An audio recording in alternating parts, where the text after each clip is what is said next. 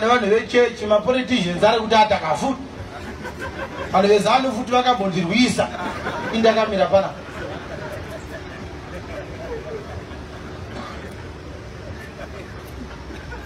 izvezvi ndoda kuenda kuofisi kwamunangagwa ndondovati kana muri kunditsvaga kuti mundiura ndauya kill me. Why should you send people to follow me?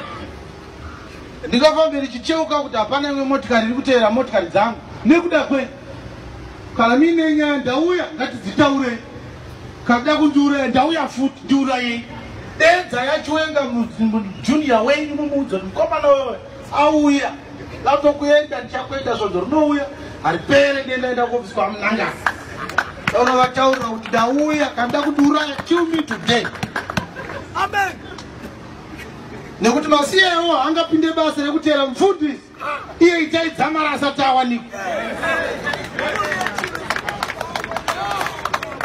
kana vachida kuteera vanhu ngavatsvage dzamara adzoke kwete kutuma vanhu kuteera chiwenga ine hana problem nemunhu handifambe nechombo bcause handamuvengi ivo ndo vanoti ndiri muvengi wavo i don't hate anyone Amen. I only speak what God instructs me to speak.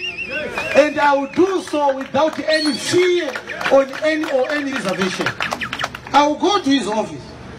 I will tell him kuti kana vasipo vamunangagwa ndakugara pano svika vauya ndauya ndiri kuona kuti pane vanhu vari kundihaunta vari kunditerroriza handifanira kurarama ndiri in fear of politicians. Ndotaura zvandatumwa namwari.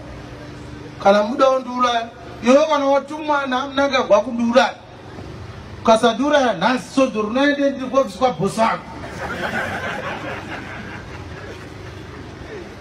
ndonovataurira kuti pamwe muri kundishaya ndati ndiuye ndega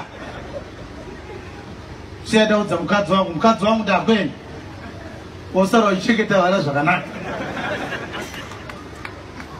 Sinzi muchifanira kudeura ropa iri rimwe rauyai deurai futi ati munofanira zvekuuraya strek tauya kuti mundiuraye. Asi ndakatotaura ide handisi kuzokuapologize. Amen. zvandakataura ndezvechokwadi. Mwari haasi kufara neunhu hwenyu. Munofanira kutotendeuka mukasatoita zvandiri kutaurirai hapana chochinja akuzi kutonga nyika kwamuri kuitaura